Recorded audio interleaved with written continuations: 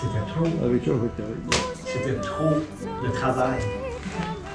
Puis c'était pas vraiment nécessaire non plus d'avoir une cave.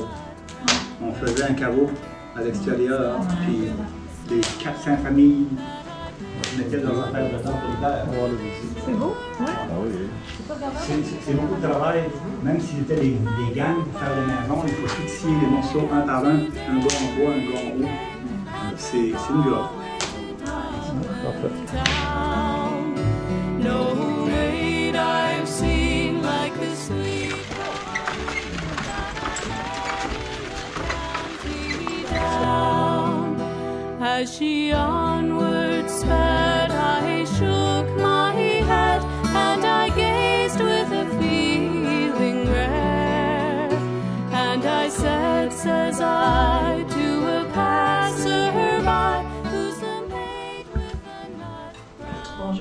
Bonjour. Bonjour. Vous permettez qu'on vous dérange durant votre dîner? Vous pouvez, on est là pour ça. Ça fait partie de la. C'est bien ça. Ça fait partie de l'histoire. Ici, vous êtes à la maison Mazerol, 1842. Euh, ici, euh, M. Mazerol est un fermier. La maison vient de près de Fredericton, à Mazerol Settlement. On a emporté la maison ici. Ah oui? Oui. Que c'est vraiment la maison originale. Vous pouvez voir les poutres, les coups de, de hache euh, écarrés qui a fait les, les coins. Euh, quand on l'a emporté, c'est sûr que le foyer là-bas était vraiment était défait. Ouais, c'est ça. Euh, le plancher aussi. Fait qu'on a refait le plancher ici. Le foyer, on a pris euh, des pierres sur la, la terre là-bas, M. Mazerol, comme que le monsieur avait fait. Et on a refait le foyer ici. Wow. Mhm. Si vous remarquez aussi, la maison à l'extérieur, elle est faite en queue de ronde. Donc, c'est vraiment du bois qui a été rentré comme ça. OK, Ben, c'est rare, c'est quand même assez rare. Par l'extérieur, on le voit vraiment bien. Puis en haut, c'est les chambres, quoi? Non, c'est pour ramasser le grain. C'est un grenier. OK. Ah, c'est de l'origine. Ah, ben, Exactement. Puis avec les accents, mais ça changeait. c'est vrai, oui. Ah, oui, Mais à, à l'origine, vous dites grenier. grenier. Un devenu grenier, grenier. C'est devenu grenier. Ah oui, on a tous des accents, on a tous des. Euh, ouais, hein?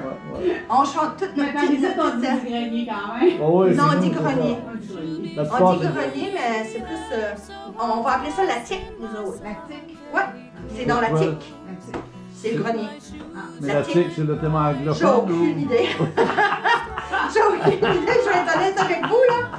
Je vais, C'est tantôt, bon. je vais y penser, là, où est-ce que ça pourrait bien venir, là, Ah, parce ça vient, ça vient tout le temps dans quelque part. Oui, oui, bien. oui, oui, c'est sûr. Oui. Eh, super. Bonne journée, madame. Bonne journée, bonne visite.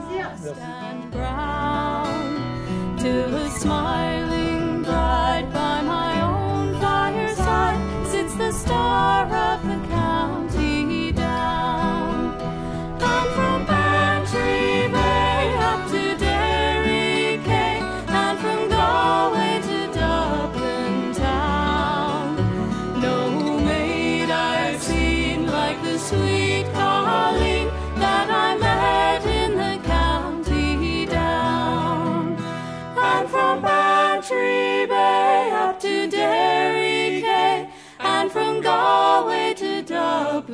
Il y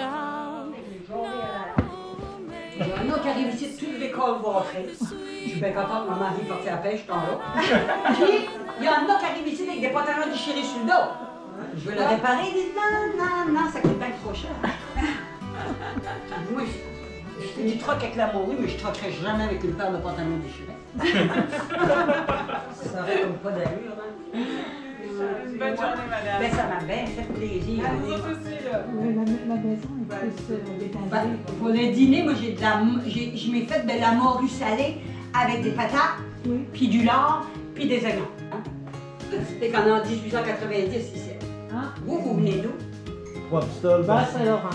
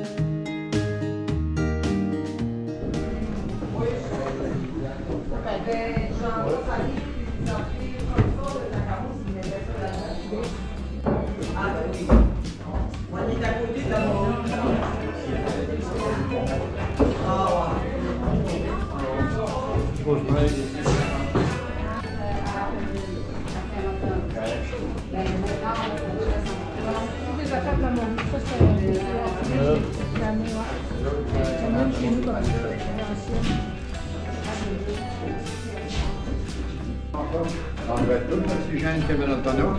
Vu que ta moulure était sec et était salée, avec pas d'oxygène dedans, elle était bonne pour deux ans.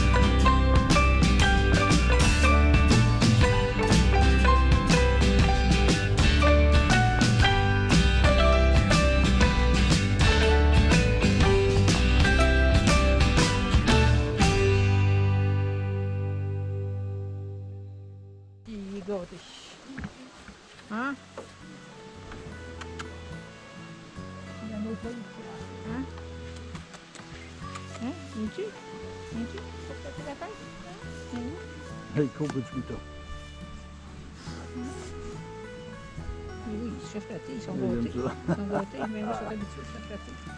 Il aime ça. Ben oui. Ils ont brûlé des cornes oui. Ah C'est un oui? bélier, ça. Ouais, regardez, ici, là. Ouais, C'est ça un mouton, Anthony. ouais. Il est fin, pas. Puis Marie-Lisa, elle aimerait ça, un Les mouton, oui, elle dit, ça la journée ici. Là, tu es goûté. On peut pas y goûter. Ah ouais. Il est gâté, ça n'a pas d'allure. Euh, Un mouton gâté.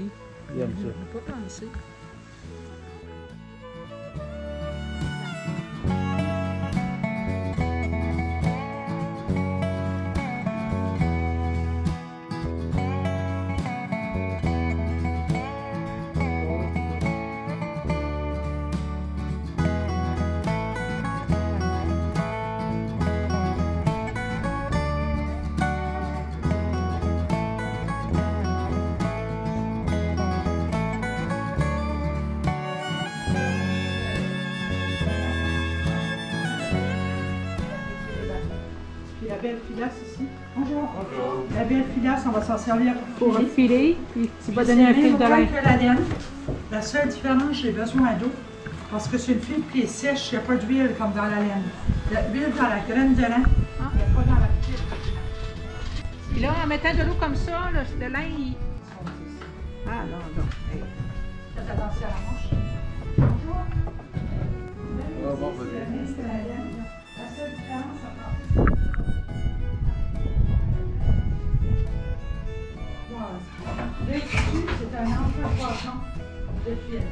C'est un fil. De lin qui passe entre les deux aussi? Pardon? C'est ce fil de lin qui passe aussi dans la canette entre les deux? C'est Ah, lin sur lin.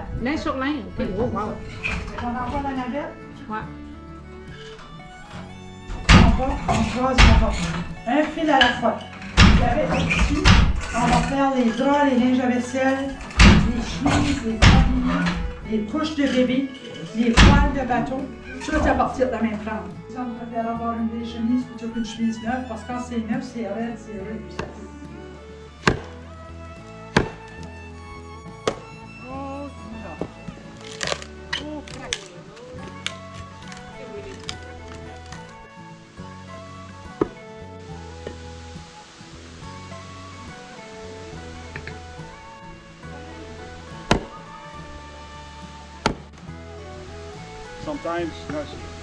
Of swing.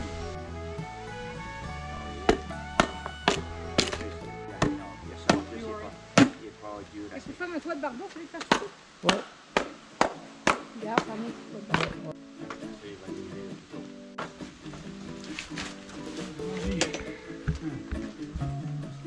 OK. C'est pour la mincer? Ouais. Alors, faut avoir peur du Pour le tenir une porte Voilà.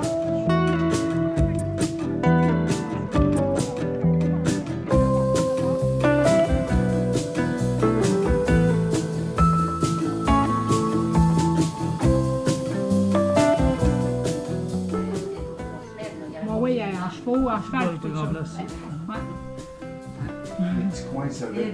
Ça, c'est bureau de poste, oui. Oui. Ouais. Qui avait la malle, mais mettons, ta comme l'époque. Ah de oui. verre, puis t'envoyait une lettre.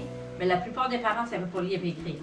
Fait que lui, il a renvoyé un de ses enfants dire à, à la personne, ben, quand vous viendrez au magasin général, il y a une lettre qui est arrivée de votre garçon. C'est le même, il aurait été au, ma- au- au magasin, il aurait lu la lettre, il aurait répondu pour eux autres. Puis même si on leur envoyé un, un colis avec, mettons, des bas de laine, une tuque, puis des affaires comme ça, ben, il l'aurait rangé, puis il l'aurait envoyé pour autres. Miniatures, comme un lit, ou un pelle à brosse. Ouais. Il avait juste pris un jusqu'à faire que ça se vend, parce qu'il n'y a pas de la place pour plus qu'un. D'accord. D'accord, ouais? Oui, oui, pour emballer. oui. Même, même dans ce temps-là, il avait emballé les clous, les vis. euh, Ouais, mais les n'importe autres, acheter de la avant qu'il y les oui, avant qu'il y ait le, su- le, le papier, en- le sac de papier, là, Ouais. il aurait tout emballé en, en, en paquet comme ça. C'est ça. ça. Ouais, c'est vrai. Ouais. Les vis, les clous, euh, ton sel, ton sucre, n'importe quoi tu as racheté euh, avant qu'il y ait les, les sacs de papier. Ah ouais. Dans les débuts. Ah, et des curés alors, c'est une belle visite, là. On dirait que j'ai remarqué que vous avez un chat dans la gorge. Voulez-vous avoir un petit shot de gin pour guérir ça? Le curé l'a regardé avec des yeux comme 55, il voulait, il tuer de bout. Il dit, pas rien, je suis pas venu ici pour rire avec toi et. Il dit, je suis venu te dire que si tu fermes pas ta taverne, ben, tu vas avoir en enfer. Voilà. Poirier, il a reculé, on a un psy. Et monsieur le curé, c'est pas une affaire à me dire, ça, j'ai un permis, je vends de l'alcool, rapport à ça, je vends des médicaments. Le gin et le brandy. Le curé, vas-tu pas envoyer un autre argument pour faire fermer la taverne? Supposément, ils ont dit, Poirier, là, il lâche son pied à terre quand il dit Monsieur le curé, c'est pas beau, ça, on, on- on va régler ça. Vous êtes un homme de Dieu, vous là, là. occupez-vous des choses spirituelles, puis moi je vais m'occuper des spiritueux. Chacun va bien aller. Ah, la rumeur a été plus loin que ça. Il a même dit que une fois par semaine, il envoyait une petite fiole de gin au curé pour se gagner des indulgents. Un pêcheur envoie lettre par ici, là. C'est documenté dans les journaux et tout. OK. Joseph Landin, par exemple, il, se fait, il, il aurait fait le trafic. OK. Whisky de Saint-Pierre-Miquelon à Boston.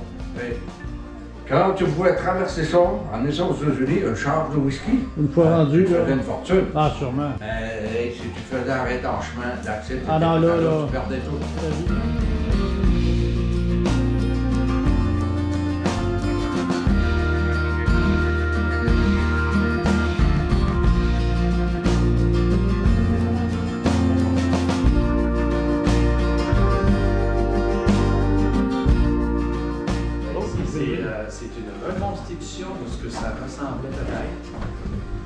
Du acadien qui était à Chétière, au Nouveau-Brunswick.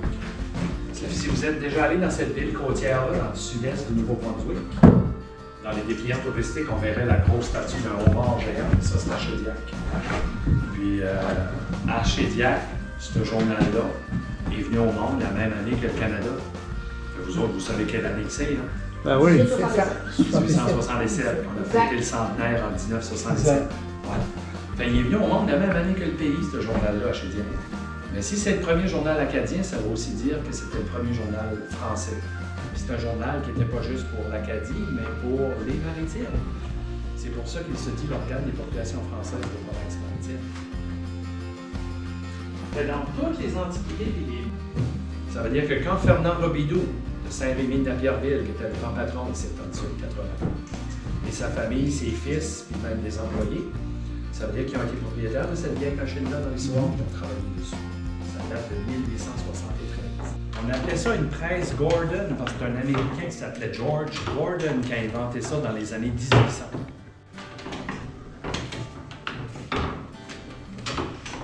Donc c'était vraiment ingénieux le fonctionnement de cette presse-là que M. Gordon avait inventé. Mais vous avez vu que c'est rapide pour 1873. Oui. J'ai une copie aux 2-3 secondes. Oui, c'est oui. vite pour ces années-là.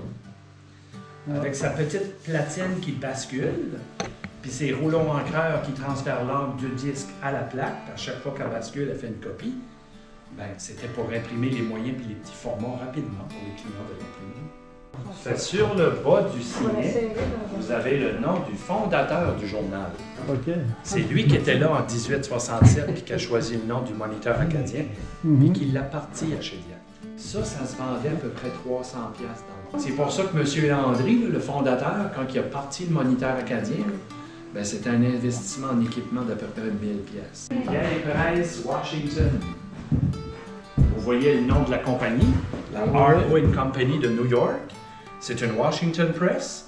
Puis on reconnaît les profils de deux personnes importantes dans l'histoire des États-Unis. Puis les chambres, ben, ils sont de l'autre côté avec grand-papa qui était au fond. Ils ont donné la chambre parce que grand-papa, il était veuf. Puis il trouvait qu'il faisait pitié, puis il a mieux resté qu'eux autres. Puis maman, papa, les neuf enfants, eux autres, s'occupaient la partie avant. Mais ici, la maison, c'est quand même bénise parce qu'ils avaient le poêle à bois qui est du bord de la chambre.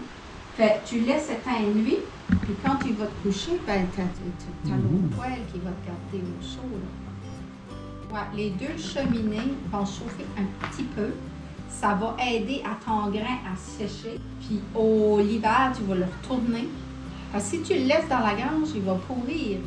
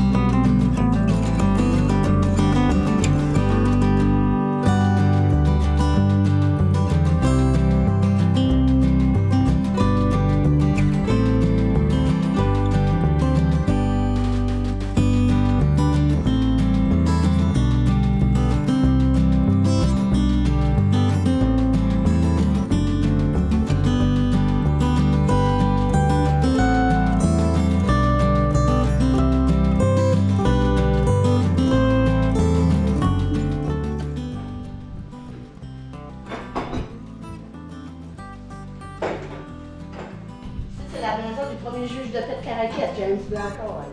Il est arrivé à Caraquette en 1822, puis il est devenu le premier juge de paix. Il était colonel, il était maître des postes, il était douanier. Lui, il avait environ de 12 à 15 métiers, lui, là.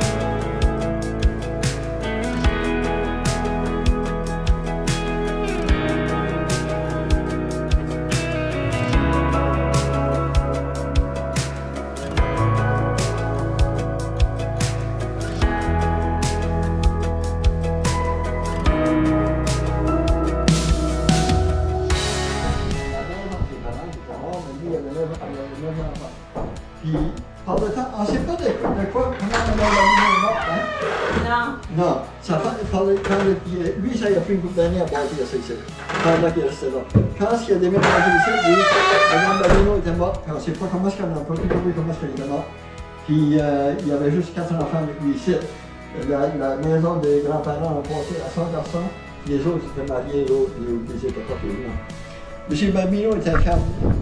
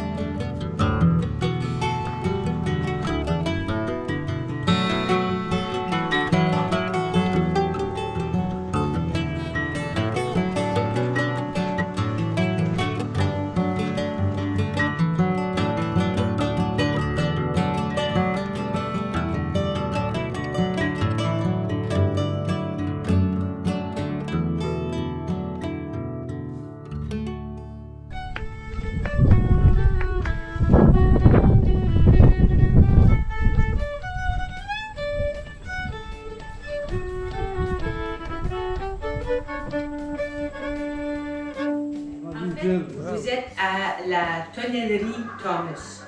Les deux bâtiments derrière puis la maison, c'était exactement comme ça à Petit Tracadie. C'est un petit village à l'intérieur des terres. Les Thomas ils faisaient des tonneaux, des barils. OK. Puis euh, c'était principalement pour entreposer le hareng salé. Ah, était, envoyé par bateau dans les villes. Bon, on les utilisait aussi pour mettre nos patates ou. euh, c'était pas rare d'aller au magasin général et voir un de ces petits barils-là, puis il y avait des clous là-dedans. là, Ouais. C'était comme ça. Donc, les Thomas avaient. Les trois bâtiments sont des reproductions. Ça a été construit ici, ça, des années 2000. Ok. Parce que la maison Thomas, elle existe toujours. Ils en ont fait un chalet. À l'origine. Oui. Mais cette maison ici, c'est une copie exacte de la maison des Thomas. Parce que les fils de M. Thomas, qui sont toujours vivants, et ils nous disent, c'est comme chez nous, puis ça sent comme chez nous. Ah ben, Ouais, voilà. ouais. Donc, les huit premiers enfants sont nés dans cette maison ici. Puis, euh, c'est ça, les, les, euh, les Thomas, n'étaient pas des gens riches, mais c'était des gens à l'aise. Ils gagnaient bien leur vie avec leur commerce. Ce sont des gens qui étaient respectés aussi dans la communauté parce qu'ils ont créé de l'emploi. Ils ont eu jusqu'à 60 personnes qui travaillaient dans le- La boutique à gauche, là, c'est le moulin à douve. Les douves, c'est les planches Oui. qu'on prépare pour le baril. Puis l'autre boutique, c'est là où est-ce qu'on va assembler le Les cerceaux. Les cerceaux. de métal. Avec les cerceaux de métal.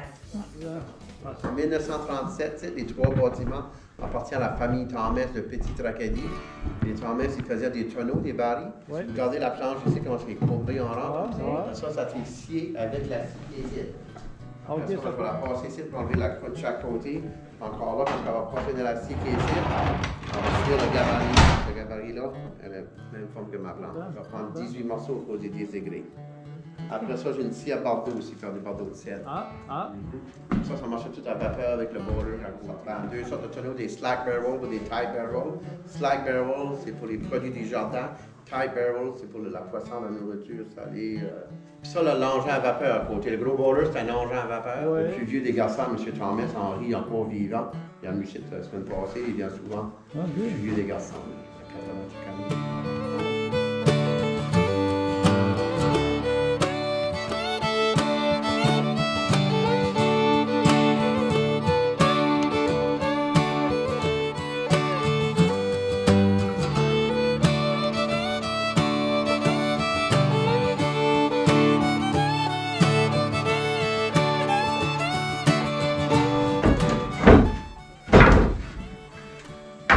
Ça qui est le gabarit. OK, tu as deux sorceaux de toboggan. Il y en a un en haut, un en bas. Un en haut, un en bas. OK. Et là, dans ce temps-là, tu vas prendre ton, ton gabarit, puis tu vas choisir tes 12. Les 12 sont tous coupés avec les mêmes dimensions. OK? Je suppose que vous avez été au moulin en arrière. Ouais, Lui, ouais. il prépare tout mon bois. OK? Il va le faire sécher pour 30 à 40 jours. OK? Ils sont tous coupés avec un 10 degrés chaque côté. Ouais. OK? Ça m'en prend 18 pour faire le tour de mon tonneau. 18 à cause de 10 degrés. OK. 10 fois 18 donne 180. 180 fois 2 donne 360. On va donner un 7. OK. OK? On va faire le tour tonneau.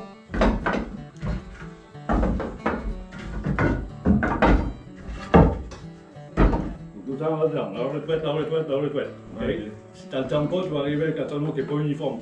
Il va être gonflé d'un bord, plat de l'autre. Ah ouais. OK? Il ne sera pas uniforme. Là, tu choisis du 18. La dernière que tu choisis, tu rentres avec une masse. OK? Pour sûr qu'il n'y a pas d'ouverture bois de ton, ton tonneau. OK? Tu la rentres aussi serrée que tu peux. Une fois que tu as choisi tes 18, avec ça, tu vas serrer. Ton corps, mets tout autour. En haut, hein.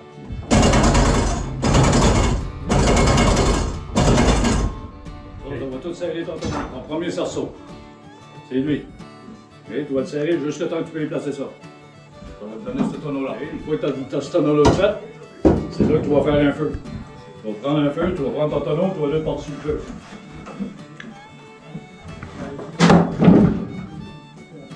Tu vas le chauffer une demi-heure, trois Il quarts va sécher. Non, Il va sécher. c'est ça que tu veux. OK. Tu veux qu'il sèche pour pas donner goût au poisson. Tu veux pas que la résine donne du goût au poisson.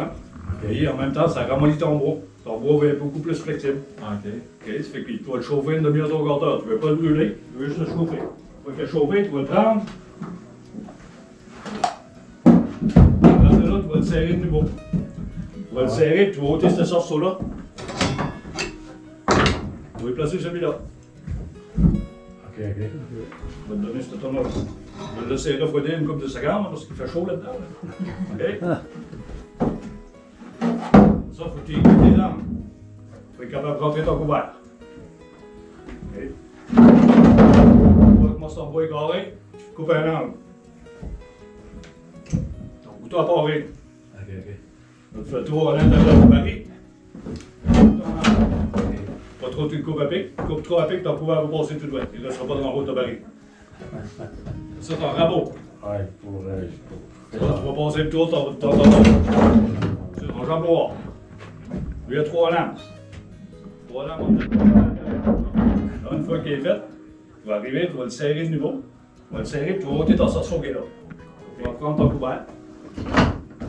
Et coupé en pointu. OK. Tu le rentrer là-dedans. Ça, tu vas le serrer autant que tu peux. Pour être sûr qu'il n'y a plus d'ouverture dans tes, Ah, dans tes dos. Tu vas le mesurer aussi serré que tu peux, tu descends ça avec une masse. Ouais. Fait qu'en descendant, il serre ton tonneau. Tu vas serrer ton couvert dans la rainure qui est là.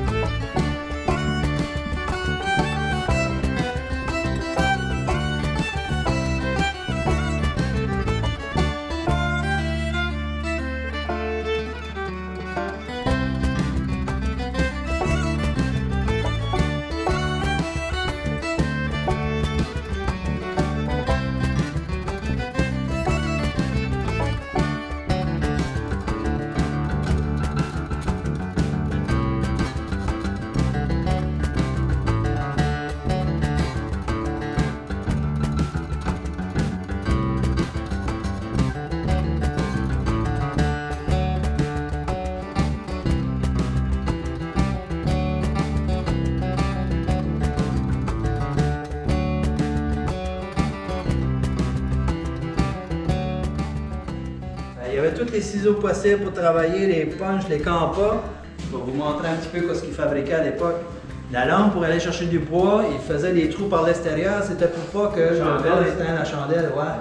Puis en même temps, la lumière sortait par les trous. Ici, ils mettaient ça devant la braise pour que ça dure plus longtemps, pour faire à manger. Euh, la farine était un petit peu épaisse. Mhm. C'est amusé. Un petit kit de survie qu'ils avaient inventé. Ils mettaient un bout de chandelle là-dedans. On appelle ça des champignons. C'est des arbres malades qui poussent des champignons. Ils prenaient un champignon, ils coupaient en deux, ils grattaient le sang. Il faut que ça soit sec. Après ça, il y avait deux pierres pour faire des étincelles. On appelle ça du silex. Fait, il, il prenait peut-être deux, trois heures pour allumer, mais et quand il allumait, ils tassaient ensemble pour essayer d'élargir la braise. Après ça, ils mettaient ça dans le bol de foin, ils fermaient ça, ils soufflaient dessus. Ça prenait. Ouais, c'est ça. Ont le pied là.